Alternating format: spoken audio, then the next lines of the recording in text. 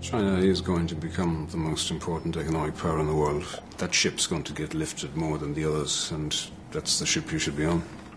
The Treasury Holdings property portfolio stretches from Spencer Dock in Dublin to St. Petersburg to Shanghai.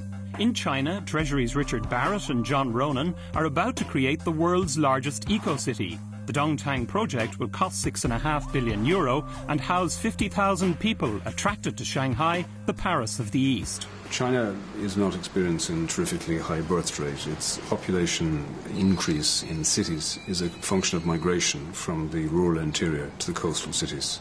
And in particular, Shanghai is very attractive to a 16 year old up the mountains. So they get a disproportionate of the movement to Shanghai, about the population of Dublin per annum. So the city authorities decided to consolidate the growth in numbers in effectively nine satellite cities. And we have a 50 50 joint venture with the government of Shanghai on one of these cities on Chongming Island.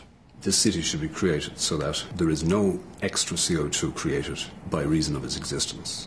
If you looked at a satellite map of the world, at night, for instance, Africa is dark and the United States is all lit up with, with electric light. If, if, you could, if you could track CO2 emissions in the same way, you would not see the city. It would not feature because it's not emitting anything. Nobody should leave the world a worse place than the way they got it. To understand the way the site is laid out, it basically goes from the very furthest point that you can see on this road to further you can you can see up here. To further beyond that house there which is going to be the central harbour. And as far here uh, onto just beyond that black bridge. The site's just larger than 3,000 acres which is the first phase of the city. The entire site of uh, Dongtan is about 21,000 acres I find it hard to think that there's anything more challenging. And I, I think when we're dead, they'll remember us for this.